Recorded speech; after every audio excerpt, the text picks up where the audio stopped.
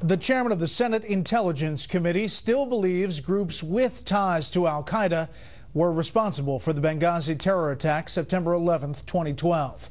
Democratic Senator Dianne Feinstein tells The Hill a New York Times conclusion that the terror group was not responsible, quote, doesn't jibe with me.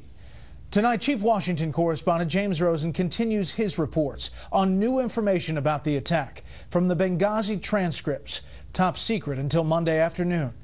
This evening, what the Obama administration did and did not do to get ready for the 9 11 anniversary.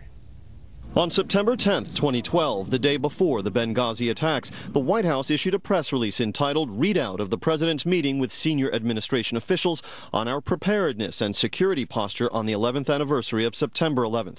It referred to specific measures taken to protect American persons and facilities abroad. There were uh, numerous steps taken. But in top secret testimony before the House Armed Services Subcommittee on Oversight and Investigations last year, the chairman of the Joint Chiefs of Staff, General Martin Dempsey, said the meeting was a conference call and that Libya never came up. Congresswoman Martha Roby, Republican of Alabama, chaired nine classified hearings examining U.S. force posture on the day that press release went out. It was misleading. Um, and, and quite frankly, as demonstrated on September 11th, it was wrong.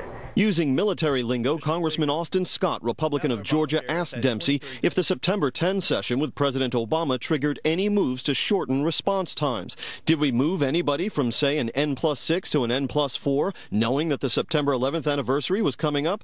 I don't recall directing that from the national level, Dempsey acknowledged. Now, there were, as you know, the combatant commanders have the authority to do that based on their assessment, so there was no direction to do that from me or the SecDef, meaning Secretary of Defense Leon Panetta. Did you anticipate that September 11th, being the date that it is, going forward, that we would have wanted to drop those notification times?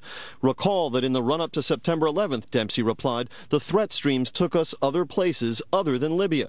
But General Carter Ham, commander of AFRICOM, who was excluded from the September 10 session, testified he and his superiors shared grave concern about terrorism in Libya. Indeed, Dempsey admitted last year the threat stream had taken him directly to Benghazi. Did you ever get the, the message that said they could not withstand a sustained attack on the consulate? I was tracking that intelligence. At the White House, the man whose office issued the September 10 press release saw no significance in the fact that neither Panetta nor Dempsey reordered force posture after their conference call with the president. Our military and our other services devoted to our national security uh, don't wait till September 10th to prepare for uh, contingencies on an anniversary like September 11th, 11th of any year. Marine Corps Colonel George Bristol, a special ops commander, testified that he warned U.S. officials stationed in Libya about intelligence showing an increased threat on 9-11 and that he was, quote, uncomfortable with American security posture there and in other countries, Brett. And you have more details on FoxNews.com? Yeah, the online story. Okay, James, thank you.